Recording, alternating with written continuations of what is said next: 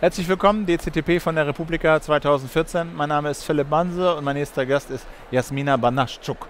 Ganz herzlich willkommen. Ja, danke. Du bist Frau Dings bei stern.de äh, und beim Twitter ähm, bloggst und hast hier einen Vortrag gehalten über Fan und Fandom.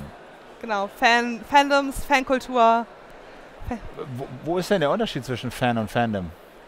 Äh, also ein Fan ist eine, einzige, äh, eine einzelne Person und ein Fandom ist so die Community, die Gemeinschaft, die dahinter steckt. Was sind da für Beispiele? Was hast du für Beispiele gebracht? Oh, das, also es gibt es in allen Bereichen. Gibt es zu Comics, gibt es äh, Fandoms, ähm, zu, zu Serien. Ich glaube, das älteste, bekannteste Beispiel wahrscheinlich Star Trek. Ähm, es gab in Anfang des 19. Jahrhunderts gab es ein Eisenbahn-Fandom, also eine Eisenbahn-Fangemeinschaft. Ähm, zu allen möglichen Serien, zu Schauspielern, Musikern, was man eigentlich, also überall, wo Leute irgendwas machen. Und Fandom heißt quasi Fangemeinschaft. Das könnte man das so übersetzen? Oder ja, also Fan, Fandom setzt sich so ein bisschen aus, ähm, je nachdem, wenn man fragt, Fan und äh, Kingdom, also das eigene Reich der Fans, wo sie ja. sich, also ihre eigene Gemeinschaft, wo sie so machen können, was sie wollen und wo sie nicht belächelt werden, ähm, dass sie das jetzt toll finden, sondern wo sie zusammen sind und das zusammen genießen können und Spaß haben können. Und äh, um, um was rang, ich meine, also Fans gibt es ja irgendwie schon länger, oder? Ja, ähm, klar. Was ist jetzt nochmal anders darüber zu reden?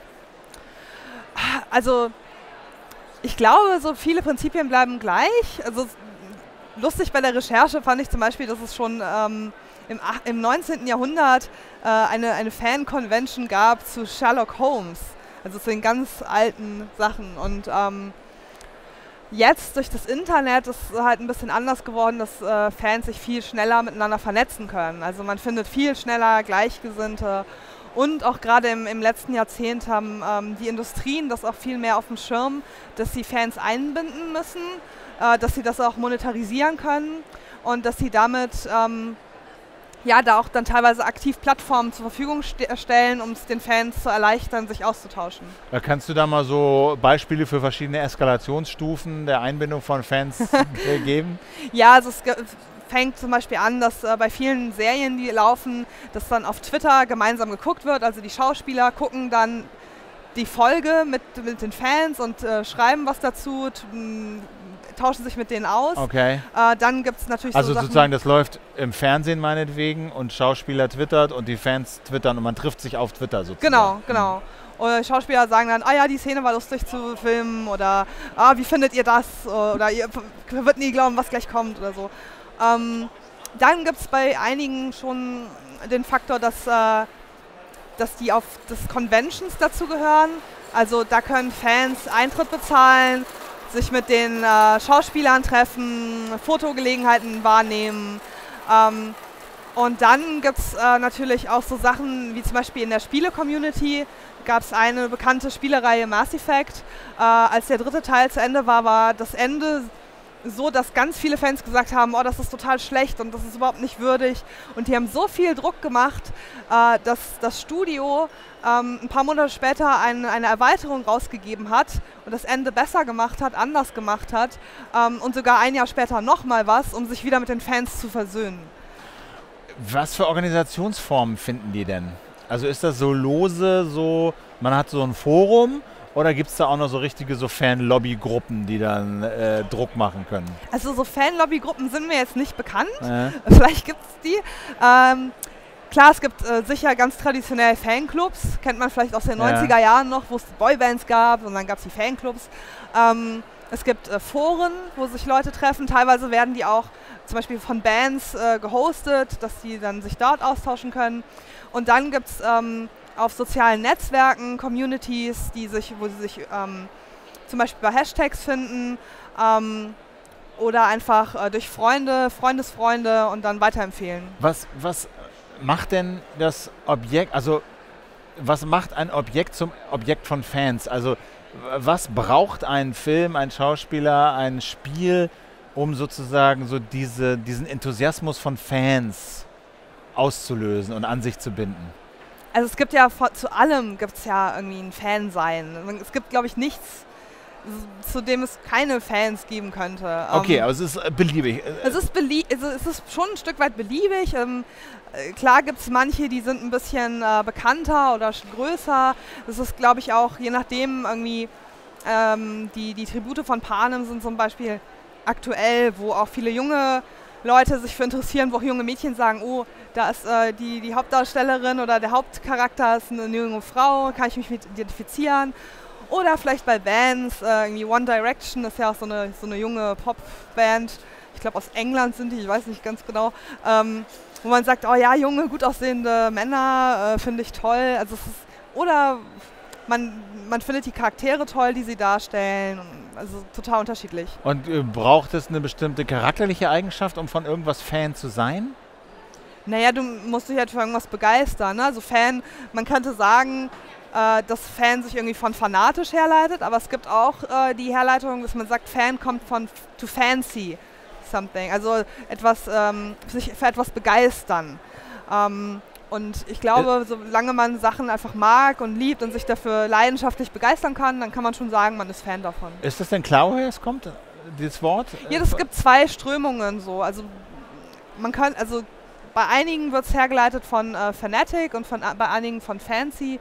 Ähm, finde das Fancy natürlich persönlich schöner, weil dieses fanatische, damit produziert man auch so Stereotype, ne? so die kreischenden Mädels, die in Ohnmacht fallen oder so. Aber Ähm, du hast in deinem Talk Harry Potter häufiger benutzt. Inwiefern äh, äh, eignet sich der als Beispiel für Fandom?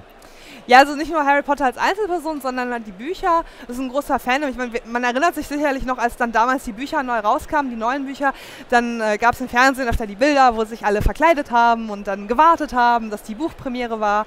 Und äh, ja, ich habe da einen, einen Screenshot gemacht von fanfiction.net. Das ist äh, die größte Fanfiction-Sammlung im Netz. Äh, Fanfiction sind ähm, Schriftstücke zu ja, Bands oder Büchern, Filmen, Serien, was auch immer.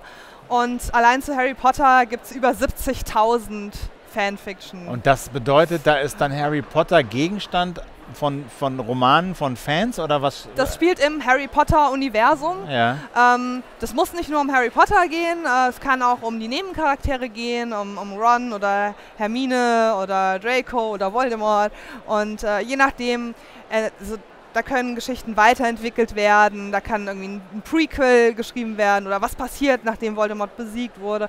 Ähm, das ist, das, da sind der Fantasie keine Grenzen gesetzt. Manchmal sind da auch so, werden da Romanzen beschrieben. Leute sagen, ja, ich, ich, ich fände es total toll, wenn Harry, Harry mit äh, Hermine zusammen wäre und dann schreiben sie halt eine Geschichte darüber. Und taugt das was? Ist das gut?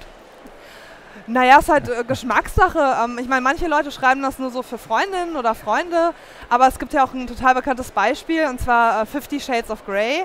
Ist ja äh, eine Fanfiction zu Twilight.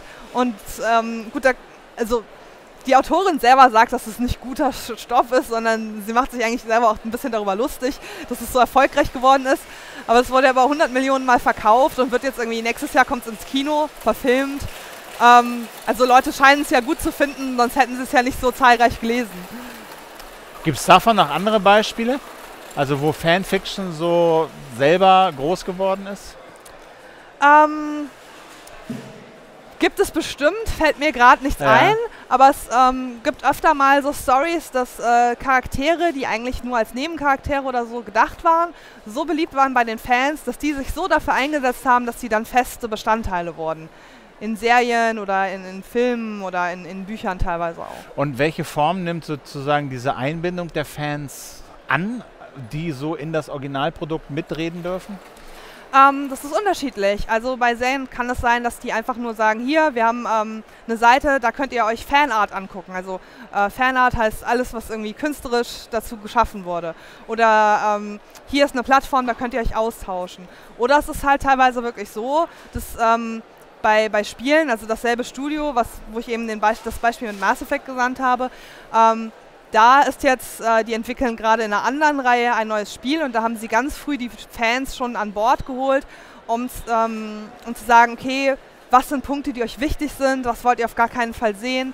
Ähm, weil denen auch klar ist, wenn die die an Bord holen, dann ist dann nachher die Loyalität größer, dann kaufen die eher die DLCs, dann kaufen die eher die Collector Edition, was dann noch, die ist dann noch mal teurer und so weiter und so fort. Und äh, also mal so aus, ich stelle mir so vor, aus so einer Unternehmensperspektive ist das eigentlich ein gefundenes Fressen. Leute, so eine Fan-Community, die das Produkt oder einen Teil davon toll finden und mhm. echt Fans sind und es lieben und jetzt schon lieben. Ja? Und dann ist es, stelle ich mir vor, eigentlich ein Home Run, diese Community zu füttern, ihnen zu geben, was man will, sie so ein bisschen zu züchten. Wie ist, äh, A, ist es so und B, kommen sich die Fans da auch mal benutzt vor und oder? Äh Jein, also ich glaube, das kommt darauf an, ähm, wer das macht, wie das gemacht wird und mit welchem Ziel. Und ich glaube, Fans merken schon recht schnell, ob das ehrlich gemeint ist oder ob sie da jetzt benutzt werden. Und ähm, äh, klar, man, man sagt bei manchen Sachen so, oh, die, die Schreiber, die ähm, die wollten da jetzt äh, nur die Fans mit äh, irgendwie bedienen oder so. Und die Fans denken aber, nee, das ist jetzt irgendwie, passt gar nicht in die Story. Teilweise sind die, sind die Fans dann auch eher nochmal die, die Wächter darüber, was jetzt irgendwie zum Charakter passt oder nicht. Ähm, und manchmal brauchen sie jetzt, es gibt so einen schönen Spruch, dass man denen geben muss, was sie brauchen und nicht, was sie wollen. Ähm, das heißt, es ist mhm. vielleicht wichtiger, dass irgendwie eine Paarung nicht zusammenkommt oder so, äh, weil das das sonst den Zauber nehmen würde oder so. Ähm, also jein. Ich denke, das kommt immer drauf an. Das ist ja auch immer ganz interessant. Also mit Fans assoziiert man ja erstmal so totale Affirmation. Ja, so völlige Kritikbefreitheit und so. Aber oft sind ja auch dann, wenn es nicht funktioniert, die Fans die schärfsten Kritiker. So, ne? Oder? Ja, die und auch so. Ich glaube, das ist schon. Ähm, das sind halt Leute, die, die begeistern sich für was. Die sind auf dem Bere äh, Gebiet auch Experten. Und ähm, ich glaube, da wird auch jetzt immer mehr erkannt, dass das Feedback von denen auch wertvoll sein kann. Und dass, das, ähm, dass die auch gehört werden sollten. Äh, Nochmal ein Wort zur Republika.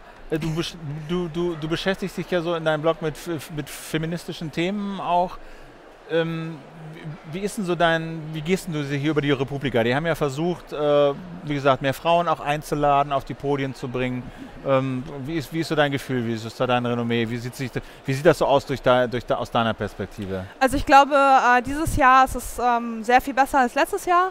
Ähm, ich glaube, der Männeranteil dieses Jahr ist irgendwie bei 61 Prozent, haben die äh, Programmdirektorinnen äh, gezählt und ähm, ich glaube. unter den Besuchern meinst du? Oder nee, der, von den Leuten, Bühne. die geredet ja, haben. Ja. Und ähm, ich glaube, es ist ein ganz, also kann man sicherlich noch irgendwie auf 50-50 hinkriegen. Ähm, ich hätte gerne noch ein paar mehr Frauen auf, der, auf den größeren Bühnen gesehen, aber ähm, also ich finde es schon sehr viel besser als die letzten Jahre und gefällt mir eigentlich ganz gut. Sind gute Talks dabei gewesen, spannende Sachen. Und ja, ich, äh, wenn das so weitergeht, dann freue ich mich schon aufs nächste Jahr. Alles klar. Jasmina, ganz herzlichen Dank fürs Kommen. Super, danke. Äh, vielen Dank fürs Zugucken. Äh, Jasmina Banaschuk, äh, Frau Dingens bei stern.de. Mein Name ist Philipp Banse. Das Video findet ihr bei DCTP TV oder auf dem YouTube-Kanal von DCTP. Danke fürs Zugucken und wenn ihr mögt, bis gleich. Ciao.